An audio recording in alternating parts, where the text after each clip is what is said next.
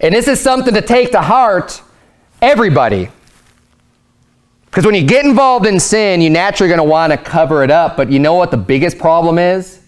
Is when you continue in that sin and then continue to judge.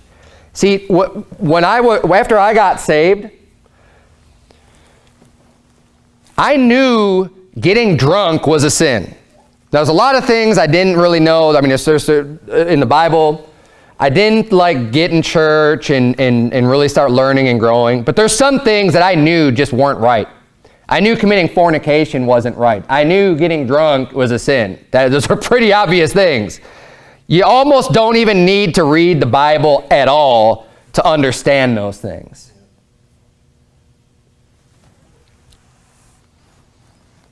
But when I was guilty of those things, you know what I didn't do? I didn't go around telling other people not to do those things.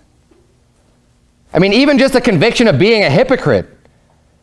And then the audacity to overcome that built-in mechanism of God that ought to humble you and just go beyond and continue doing things is beyond me. And the Bible gives very serious warnings about this. And the Bible says, you know what? Thou art inexcusable. There is no excuse.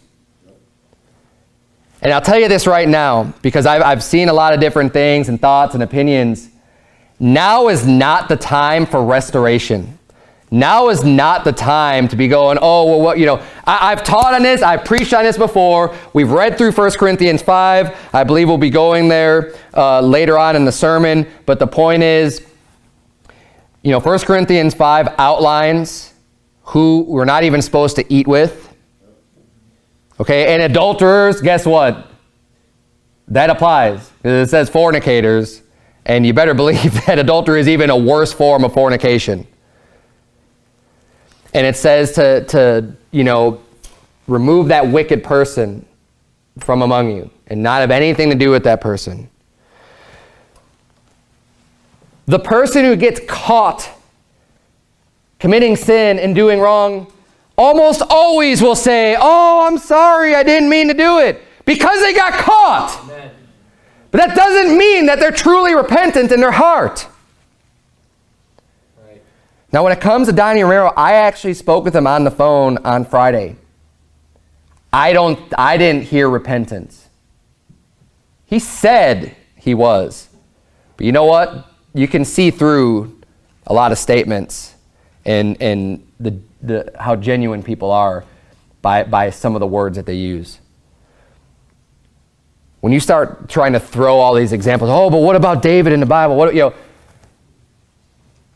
don't go telling me why I need to just all of a sudden just start like, like you're deserving of some type of, of forgiveness from me when you just get caught doing some stuff and wouldn't have, you know, I fell into this trap too. When I first started hearing some of the information, I thought, wow, hey, at least he, he, he was noble enough to step down when there's a problem that's disqualifying him. And probably everyone had the same approach. Why?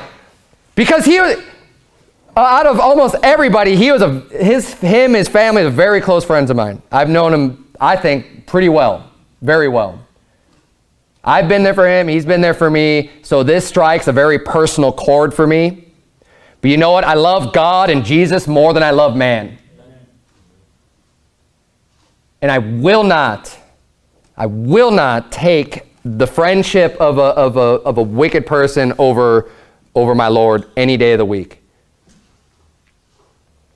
I believe he's saved, but God has judgments for a reason, and judgment needs to come. And I'm going to leave that, that's left up to God to judge. His own words are going to come back and haunt him. Guarantee you that. If, if it doesn't, then the Bible's not true. Because God will judge him. And I believe God already has.